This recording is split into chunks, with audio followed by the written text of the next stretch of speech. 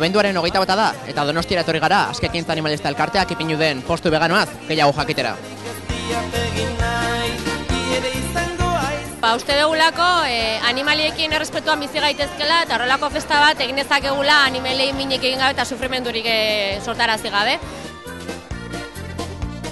Ba, lehen urtean ere lehen urtea izan zen, ikusi genuen ondo funtzionatu zula, eta bigarren urte honetan jendea badakila posto honetan badagola, eta datorria galdetu da, zaber hemen den e, txistora veganoa dagoen lekua.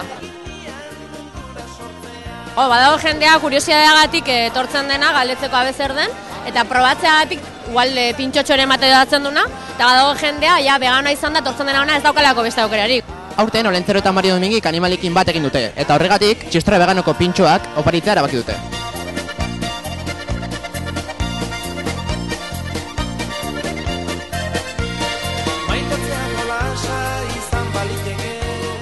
Azkekintza animalistaren txistora veganoa, soja testurizatuaz, baratxuriaz, ardotxuriaz, agara garalgaz, berako pimentoiaz eta glutenaz osatu dago. El sabor no es el mismo, pero bueno, podría... Está rica, está rica.